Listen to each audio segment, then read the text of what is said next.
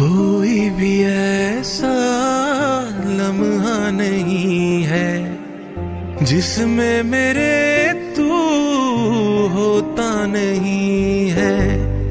मैं सो भी जाऊँ रातों में, लेकिन तू है कि मुझमें सोता नहीं है।